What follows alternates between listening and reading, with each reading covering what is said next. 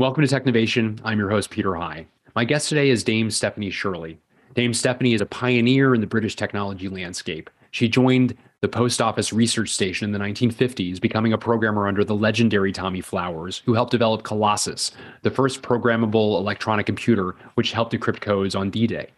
In 1962, at the age of 29, she founded a technology company called Freelance Programmers, which would grow to be a nearly $3 billion company with 8,500 staff at the time of its acquisition by Sopra Steria in 2007. She also refers to herself as a venture philanthropist, as someone who has founded and driven charitable foundations focused on autism, as well as technology. I also look forward to hearing more about her memoir, Let It Go My Extraordinary Story. Dame Stephanie has indeed lived an extraordinary life and continues to work at the age of 88. Dame Stephanie, welcome to Technovation. It is an honor to speak with you today. Lovely to be here. Well, Dame Stephanie, I, am It's been really fascinating for me to get to know your story over the past couple of years uh, and reading a variety of articles uh, uh, about you and this remarkable uh, life and career that you have had. And I'm looking forward to covering it all through this conversation, or at least a, a good slice of it. Um, it's a and- long life. It's a long life. Have we got enough time?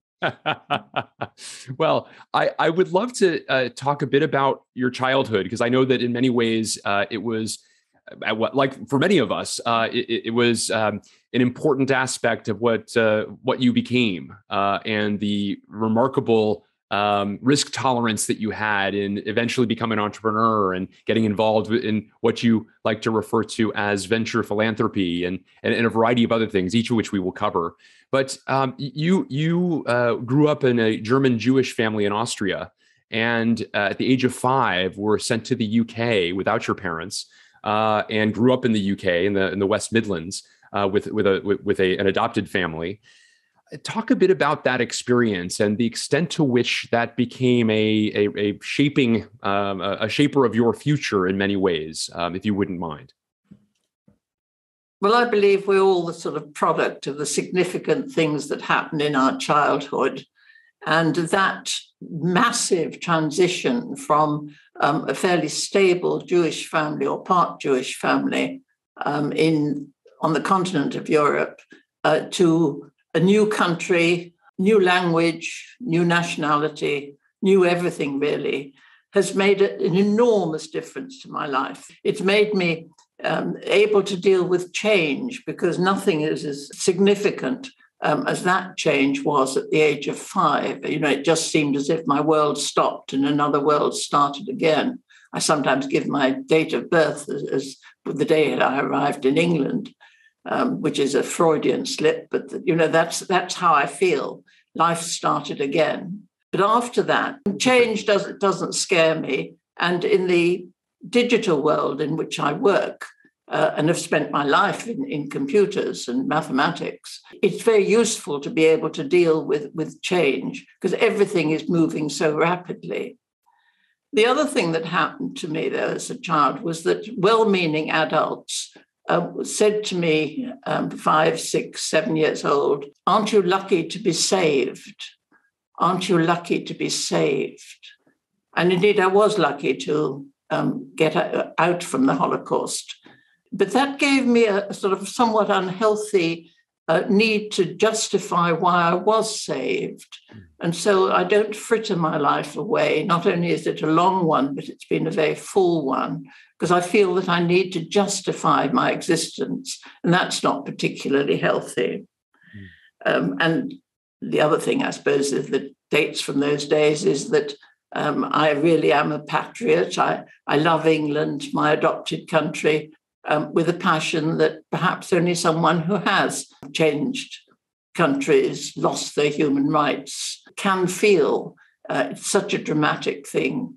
Um, today, of course, with the problems in the Ukraine, uh, we're hearing about um, refugees arriving with or without their families, mainly women and children. And it brings a lot of the horrors of um, the refugee situation uh, back home to me. Mm-hmm. Yeah, I, I, can only imagine that must be the case, Dame Stephanie. I, I would love to also ask you um, the immigrant's journey is itself uh, fundamentally entrepreneurial in some ways. Um, uh, it, your your your immigrant's journey was not one of choice of your own, at least as a five year old, but those who require, as you did, you you in your case, you had new parents, even uh, new nationality, a new language.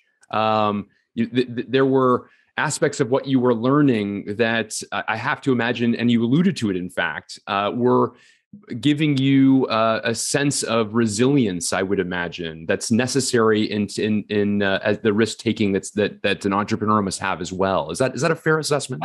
I, I, didn't use the word resilience until much, much later, and I learned it in business. Um, mm. But I, I call myself a survivor. I was conscious that I'm a survivor. Yeah, I can, I can only imagine that must be the case. Well, in the 1950s, you joined the uh, Post Office Research Station, uh, and it, it, turns out for, for those, uh, especially in this audience, who may be uh, less familiar with that, that was a fortuitous place to begin one's career. You you uh, worked with Tommy Flowers, who had developed Colossus, uh, the first programmable electronic computer, uh, which helped decrypt codes on D-Day.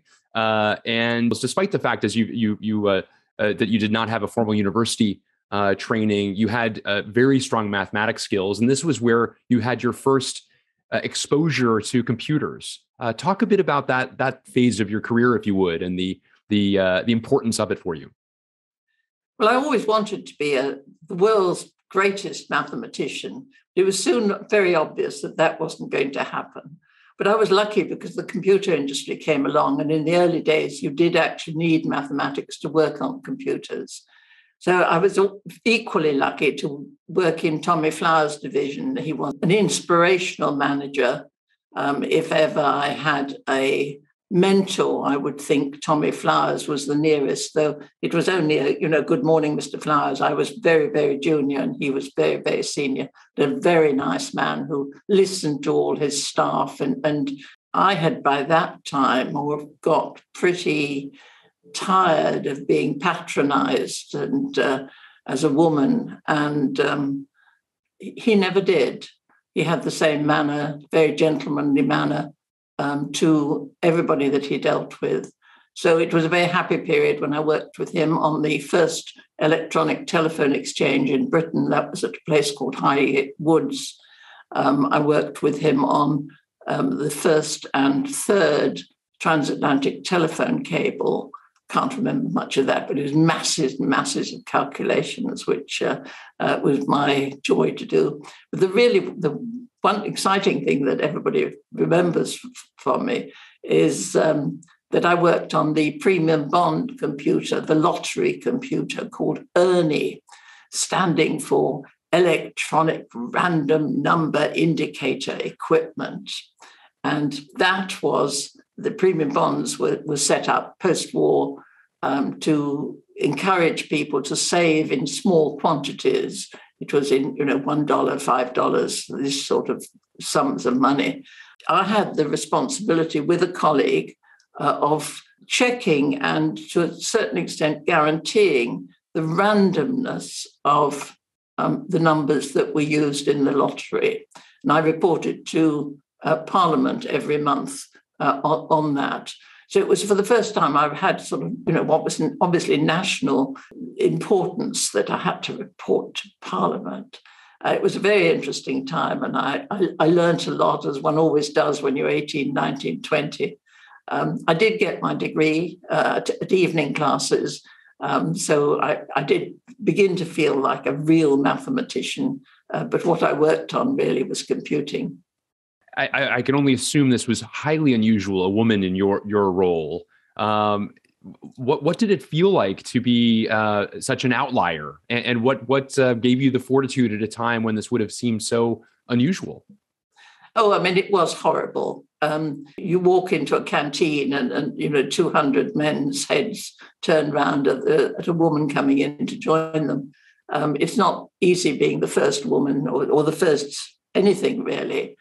Um, I quite like to be first. Um, I like to be the first to do something, the first to think about something. Um, and I'm always very pleased with myself when occasionally that happens. But most of the time, of course, we're building on other people. And I had excellent colleagues. Mm-hmm. Yes, indeed. And, and uh, you've uh, spoken at length uh, on many occasions about the power of startups and uh, the, the fact that it's an exciting thing to take one's own idea and, and see it through to fruition. And indeed, at the age of 29, you started your own company. Um, and, and I wonder if you could talk a little bit about the, the impetus for that. What inspired you, again, at a time when this would have been so unusual for, for a woman, a, a young woman at that, uh, to, to start her own company? uh, freelance programmers. Talk talk a bit about that, the early stages. What what kind of inspired you to to uh, to embark on that journey? I was really driven not by any desire to make money, though um, I did eventually make serious money. Um, but I was driven by the sexism that I had met in the workplace and was fed up with it and determined to set up my own organization that was the sort of organization that I wanted to work with. And lots of other women would also, the characteristics, extreme flexibility, um, flexibility in, in timing, flexibility of where and as well as when you worked.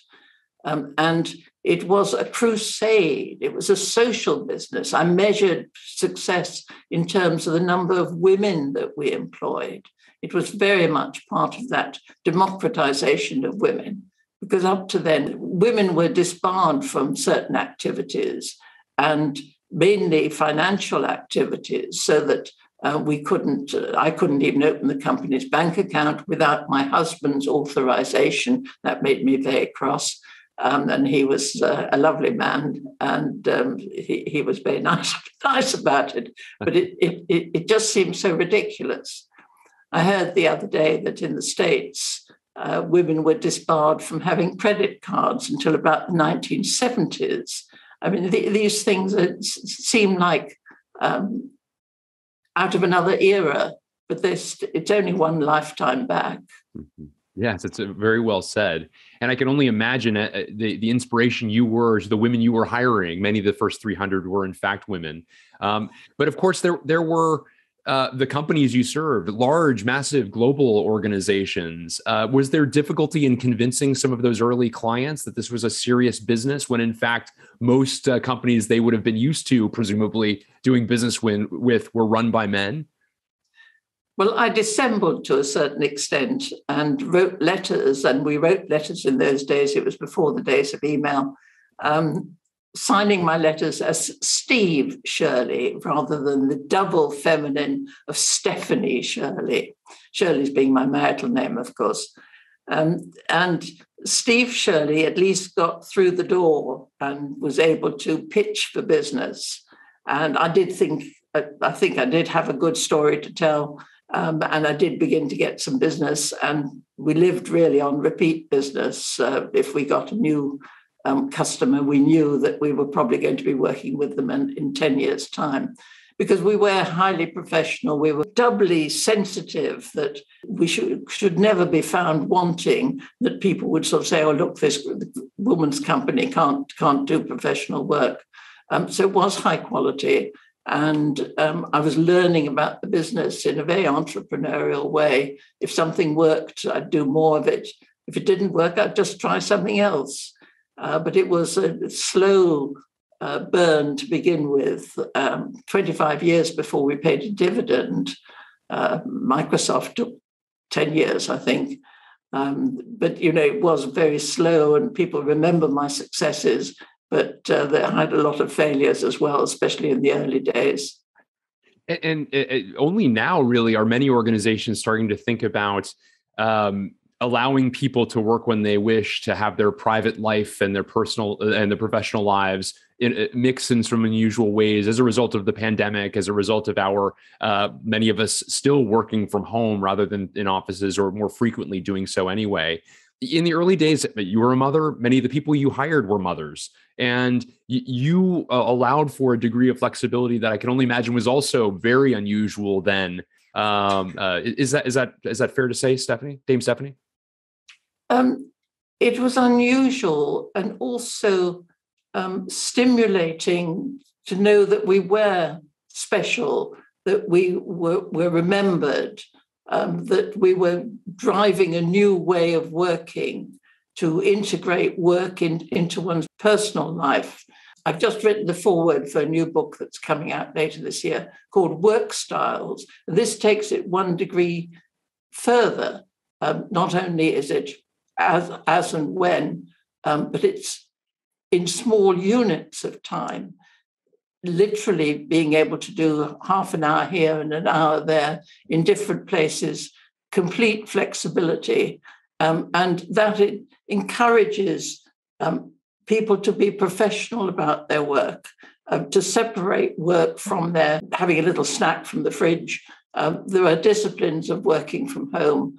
Um, I'm conscious that we have started um, a lot of things, including what's called the gig economy, because we paid people uh, on zero hour contracts. We call them min max contracts.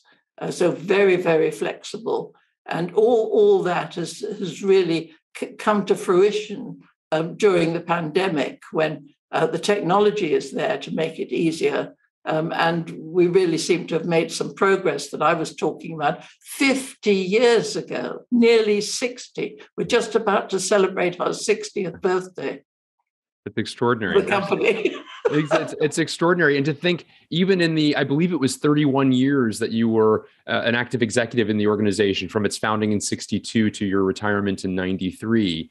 Uh, gosh, to think about the differences across those decades that you, you started in 1962 when, when computers were in some cases the size of, you know, massive rooms, you ended on the, uh, at the early, very early stages of the digital age. Uh, and of course, you've remained active uh, in, in, across a variety of different uh, uh charities and business uh, ventures since then as well. Talk a bit about the evolution of technology and how you kind of uh, remained current and somebody who who could propel the organization to evolve as the times evolved. Well, my really big secret is that I surround myself with people who are much smarter than I am. Um, and I give them the environment in which they are trusted um, trusted as individuals, trusted as teams, trusted financially. Um, and I'm able to draw out high quality work from an unusual um, and unconventional workforce. If somebody suggested something, or if I saw a, client using a technique that um, I would think, well, perhaps perhaps a version of that would work for us. And so we were introducing emails in 1987. We were doing virtual reality um, in 1998. Um, always very much at the front of everything, which mean, meant that although we made mistakes, we were able to stay ahead of much larger organizations who perhaps had to go through uh, more procedures before they introduced a, um, even a small capital um, improvement like that. I thoroughly enjoyed business, much to my surprise. I like people. Uh, they don't necessarily like me, but it, it, doesn't worry me if they respect me. Um, but I did enjoy working with very bright people. I'm in, in, contact with many of them today. Some of them I got to work in my set of charities as well. Mm. Um, I had quite a, um, a, a rich life uh, because of the business. I, w- I went to places, I've been in Saudi Arabia, I've worked in Australia, I've worked in the States, um, and uh, I was on an American charity as well. Um, so it, it's given me a very full and three dimensional life that uh, I wouldn't swap for anyone else's. Uh, w- wonderful, and, and I want to get into your uh, your charitable uh, work in a moment. I, I do want to just mention your organization uh, was listed on the London Stock Exchange in 1996. By 2007, it was valued at nearly $3 billion uh, yeah. with 8,500 staff. Uh, it was acquired in 2007 by a French company called Sopra Steria. But um, uh, so remarkable success. What you created became a colossus, and I can only imagine is a source of great pride to you. I did want to. It is a source of great pride, but in a way, um, I'm somewhat disappointed because it finished up much like any other quality corporate. Um, a few more women in top management, perhaps, um, but apart from that, it, it became a, a, a, a, very conventional um, quality corporate um, in, in, change management. One of the things that I think um, had made a difference for a long time was that I got a quarter of the company into the hands of the staff so that when the success did come, uh, they, they also benefited um, significantly. And um, that's probably the largest gift I ever made. Uh, but it didn't look look like bits of paper, um, and I'm not sure that it was really valued. But I'm so excited to have been at the forefront of, of co-ownership, uh, which I believe is a way forward for modern businesses, where we're more, more interested in in the brand uh, than in necessarily the short-term bottom line. Mm-hmm. Yeah, very interesting. And to talk a bit about, I want to go back to the early part of the the point you just made that the company in some ways became a more conventional company. Where are we sort of in the state of the union of women in in technology and business from your perspective? Where where have gains been made, and and what what perhaps keeps them from from happening as rapidly as is appropriate? In a way, all the legal issues that I was addressing are in the past now. Women can do nearly everything um, in the Western world that they want to. So, why are they not making more of an impact on middle and top management? The figures in the IT industry is that one in six people are female, um, but in the top management, it's down to one in 10. So they're hardly really noticeable. And so they're making the same sort of impact, perhaps, that um, the, the black input uh, is making in the States. Uh, people are there, they're noticed, um, but it's not really um, accepted. It's not really a culture that is uh, amenable to women. What do I mean by that? Partly the flexibility, partly the sheer mutual respect that women are still not getting. And of course, it is acutely irritating to be patronized. I always make a joke about you can tell an ambitious woman uh, by they have flat heads. And that really comes from people patting you patronizingly, say, Well done, Steve, well done. Um, and um, th- that is not an incentive uh, to me. It, it just angers me. Mm. I, I, can only, I can certainly understand why. I, I, do want to get into your philanthropic work, which has dominated your activities in, the, in recent decades. Um, you've spent an awful lot of time as a what you refer to as a venture philanthropist. Um, I'd be interested before we get into the subjects of of where you have chosen to uh, put your time and your funds. Uh, I'd love to understand your approach because uh, because you you do think of it very much as a business person would in terms of analyzing uh, problems that you might help solve, uh, the the amount of money to put into it and time, of course. Talk a bit about your approach as a a private sector executive now in the uh, in, in, the philanthropic world and how you uh, how you make your determinations. Well, I started off quite simply of trying to work out my mission statement. I don't think I called it that, but that's big. What am I trying to do? all philanthropists are trying to make the world a fairer place. Uh, but the world is a big place, and, and I, I, I need to focus on, on things that I know about and care about. And there are only really two information technology, my professional discipline, um, and autism, which was my late son's condition. And we started off saying very firmly, I've always been in research, so it's going to be pioneering stuff, never more of the same, no matter how worthy. Uh, so it's pioneering and strategic. So it's not only making a difference in the short term, but making a long term difference to scale. That's how I started. After many years, I stopped the mission referring to information technology because there were lots of people supporting information technology, and I was beginning to get out of date. So I stayed um, focused on autism, where I've been a major player for, for, for many years.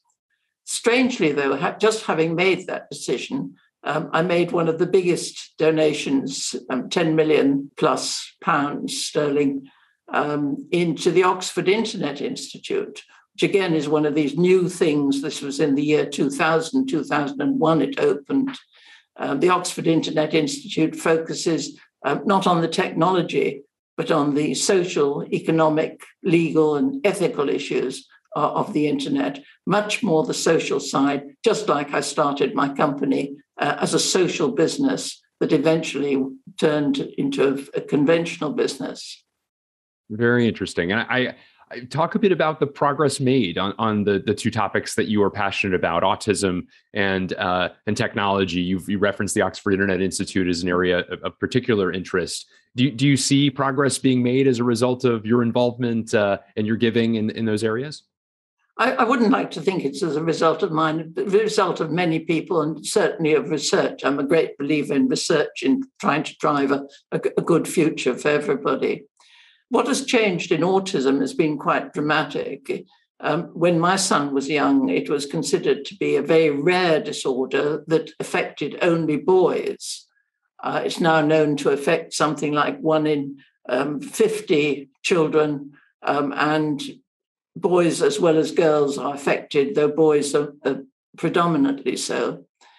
It was then considered also the product of poor parenting, and that made it particularly difficult for autistic families or families with an autistic member um, because um, people were basically saying, not only have you got this difficult child, but it's your fault. And um, they had horrible expressions like refrigerator mothers I'm a mathematician, and you start thinking, well, maths is perhaps not a good background um, for, for, maternal um, feelings.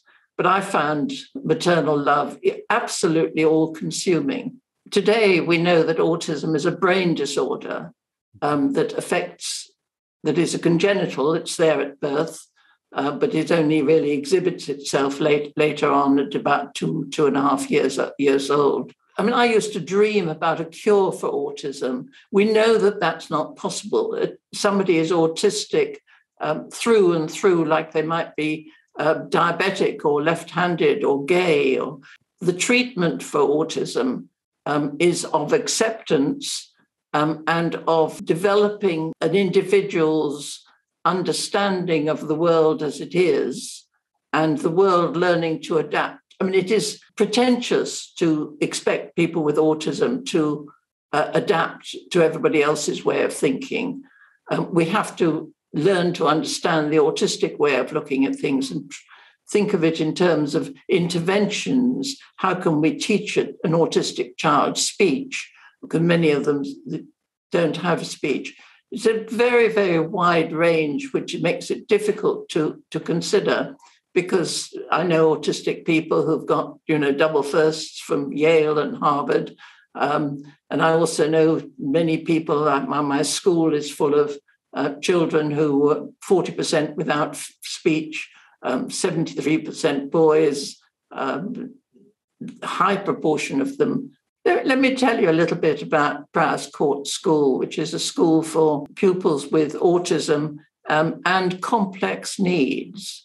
Now, these are children modeled on my Giles, my son Giles, um, who for whom there was he was classed as ineducable um, and uh, came under the health system rather than the education system. Uh, he was um, he went to some schooling but finished up with me at home, and that was a fair disaster. But the school is set up uh, for children like him um, it has nearly 100 pupils aged 5 to 25. It start, used to finish at 19, and then we put a young adult centre on to make sure that we could. The aim is to get pupils into employment, sheltered employment, perhaps, modest employment, perhaps part time employment. Um, but it runs a little bakery um, so that people leaving the school have, have an employable skill um, to, to, to, offer industry. Um, I'm enormously proud of it, and it has extremely good results with most people going into employment. These are people without speech, profoundly vulnerable. I was inspired for Priors Court School by a school in Boston um, called the Higashi.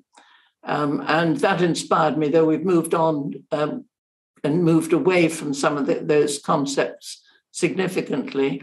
But it is wonderful when you have the opportunity of, of making a life for a child. It, it, it's you, you see, I, I don't teach at all, but um, you see them when I visit um, develop, stand up straight. Oh, let me tell you a story. I came in one day and I asked the member of staff, What do we feed these children on? I swear Joe has grown four inches since um, I was here last. And she said, No, no, no. When Joe came in, she was crouched and insecure and looking sideways at things. Now she's standing up straight as a full human being.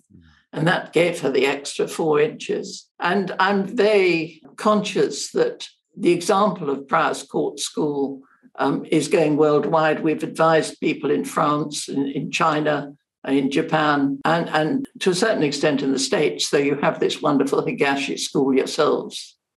What, what extraordinary stories and and uh, remarkable work that you and and the teams uh, surrounding these organizations are doing. Thank you for sharing that, Dame Stephanie. Um, I wanted to also ask you about your memoir, "Let It Go: My Extraordinary Story." T- talk a bit about what uh, inspired you to tell the story. There it is, uh, and uh, talk a bit about um, you know th- that process, what you learned through that process as well. I think it's inevitable that I should finish up with a memoir rather than an autobiography. And Let It Go is a memoir. It doesn't say I, I visited Buckingham Palace on Thursday afternoon and it was raining. It talks about my emotions, about what was going on in my life. The emotions of setting up a business, of struggling through its early days, of the things that really went badly, badly wrong and nearly sent us under of, of the survival characteristics of, the business, of the teams, um, and, and how we slowly made a, a, a transition into a professional company. It's been translated into German, uh, into Spanish. The Spanish version is out now, and it's just being talked about publication in, in Chinese. I don't know which dialect. Mm-hmm. Um, but during the lockdown, which was really quite dramatic for everybody, um, I wrote another book, um, quite quite different. Um, that this is a hardback, beautifully designed. It was shortlisted for some design awards, self-published, and it's a book of some thirty of my speeches that I've given in the last um, 40 years. When I look at them now, I, they're all dated. And I'm quite proud that some of those early dates when I was starting in certain aspects of the computer world are recorded in that way. People don't like to read speeches, but if they do like to read speeches, may I recommend So to Speak? Wonderful. I, I, it's a uh, appropriate and fitting uh, uh, collection that that uh, highlights uh, highlights the great work and extraordinary story that is yours. Uh, thank you for for mentioning each of those. Um, I wanted to just you are a, a a, a vital person deep into your ninth decade um, who remains very active. Uh, you mentioned that uh, your background sort of uh, keeps you from doing much that is frivolous.